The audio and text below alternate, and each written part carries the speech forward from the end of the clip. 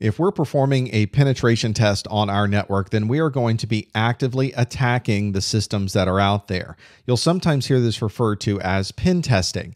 And this is a little bit different than vulnerability scanning. When we were doing vulnerability scanning, we were be being relatively passive. We weren't really attacking systems directly. If we're trying to get into a system, though, and really see if we can take advantage of the vulnerabilities of that system, then we call that penetration testing. If we're able to get in and see what the bad guys can do, then certainly we can test and be sure that we're putting the right security in place. There's usually a mandate also in some environments that someone someone come in every so often and actively attack your systems, actively try to get in to your data, to your operating systems, and in through your applications. There are some guides out there that can help you. One from the National Institute of Standards and Technology.gov. Here's the publication's URL. This is a technical guide to information security testing and assessment. So that is a nice read that can help you understand some of the techniques and some of the things that you can use when you plan to do some of your penetration testing. If you're going to be doing penetration testing, then you need to understand what the latest vulnerabilities might be for those operating systems. So you have to stay up to date with what the latest threats are. The challenge, of course, is the applications may have been around for a long time, but sometimes we're just finding new threats in some very old applications. And if you don't keep up with that, then you may never know that there was a new way to get into the way that that application works. You can look at a big list of these. The National Institute of Standards and Technology has a national vulnerability database that you can find at nvd nist.gov. Another thing you can do is to constantly do vulnerability scans. Use those new methods that you've now learned about to see if any of the systems on your network are susceptible to those new threats. And you may want to make sure that whatever scanner that you're using is using the latest signatures because of that. That way you can stay up to date with all of those. And watch the news. There is all kinds of interesting information occurring for the latest set of news. If there's something big in the news, the bad guys are going to try to find ways to get in using some of those new techniques. And if you're able to see new vulnerabilities come out, then you may be able to set up your firewalls, you may be able to set up your systems so that even if somebody tried to get in with some of those new techniques, they would not be able to. There are many aspects to penetration testing. One of the things that we can do is to bypass some of the security controls that might be in our environment. Go outside your environment, try to force your way in through your firewall. Can you get into the network from somewhere out on the internet? You might also want to think doing this in person. Think about going and trying to get into the building to get around some of the security you might have. Are there certain gates that are left open? Are certain doors easier to get into? Perhaps there's an area of the building that's not monitored. You want to be able to find those things. You have to think like the bad guy to be able to do that. There are also people inside the organization that may bypass security controls. So don't focus solely on getting in from the outside. Think about how the people internally in your building and in your network have access to these different systems. Do they get around your database controls to grab information? Do they are are they taking information from those databases and sharing them with third parties using different tools like sending it in a Google Mail or sending it through a Yahoo Mail? Your penetration testing should consider this lack of control and see just how much you're able to do if you had a simple login like everyone uses on your network. You also want to think about using the same tools that other people use to get around your security systems.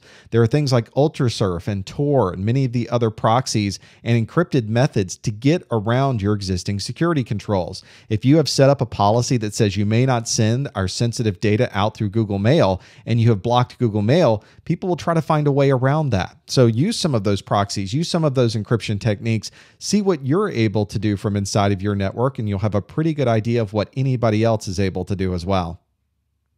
When you're testing your security controls, try to use the same methods that the bad guys use. Try to get in your firewall, get around your IPS system, maybe try to do some scanning. How slow do you have to scan to get through your IPS? That's one of the best ways you can get an idea of what the bad guys would have to do to get into your systems. And try many different techniques. Maybe it's not just one scanner, maybe it's other scanners, maybe it's other security frameworks that would allow you to try different methods to get in. This is going to give you a pretty good idea of what the bad guys are seeing so that you can have an understanding of how you can set up your security systems to prevent them from even getting in in the first place. When you're at the point where you're really trying to exploit some of these vulnerabilities, you have to be pretty careful. Some of these buffer overflows or injections can cause the application to break. You may cause the database server to be unavailable. You may cause the application itself to not be accessible through a web browser. So that denial of service, that loss of data can be pretty bad. So usually this is something you're planning internally and you've caused you've got backups, you've made sure that everybody has systems in place that are aware that this is going to occur. You want to make sure that you don't cause a problem for anybody else, especially with your production systems.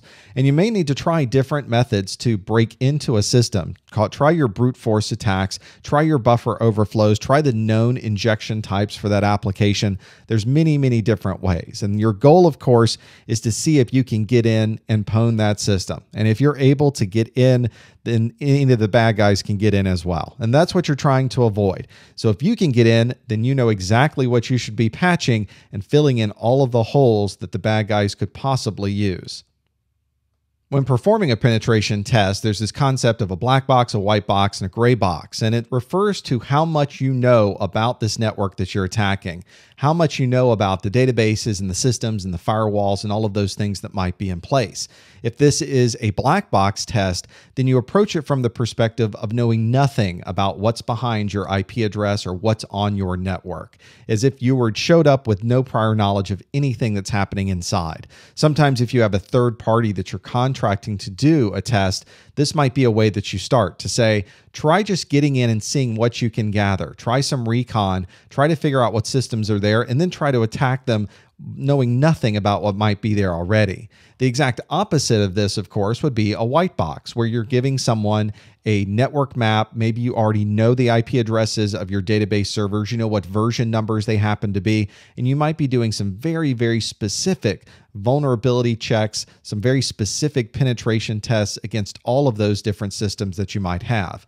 A gray box, obviously, then would be something in between. You know a little bit about the network, you know a little bit about the systems, but you don't know everything. And if somebody's going to start performing some tests, they may be much broader tests to be able to determine exactly what might affect those systems that you have in your environment.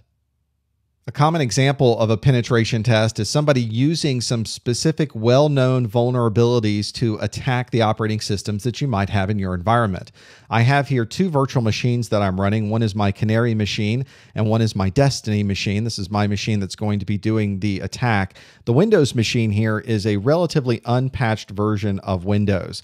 Let's see the IP address on this machine. It's 192.168.1.26. And it's just sitting out there on the network somewhere waiting for somebody to try performing some type of attack and see if we can penetrate the security that's on this Windows machine. Now, I don't have the login to this machine as the bad guy, but what I'm going to do is run this Metasploit framework that I'm running here, and I'm going to choose a very specific Windows exploit that deals with the RPC, the remote procedure calls in this Windows. And I happen to know there was a very, very bad, very, very common vulnerability in some older Windows systems that took advantage of this. This particular Microsoft RPC DCOM interface buffer overflow is one that I can use to try to attack this machine. And you can see there's a lot of different things we can do here. It's definitely going to this system, and I have the option now of setting up and running this particular exploit. So let's choose some of the things associated with this exploit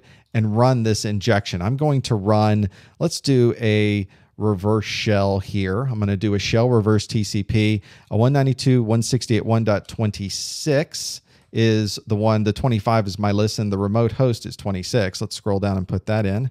So we're going to add the IP address of that Windows machine, 26. And I'll just choose to run that exploit in my console. So it's going to try going out to that Windows machine, attacking it with that specific vulnerability. And now in my console, I have a shell and it's one that allows me to interact with that Windows machine. I can do a directory, I can change directories off to the root. And now I'm in the root. Let's do a directory of that. I'm on that Windows machine. I have access to everything on that Windows machine because of that vulnerability. And I would have only been able to see if that machine was really, really exploitable if I tested it with my penetration testing. Now, the idea is I would get the patch for that Windows machine, I would apply that patch, and then I'd run the same penetration test again. And we want to be sure that none of the bad guys can do exactly what I did to gain access to any of our systems.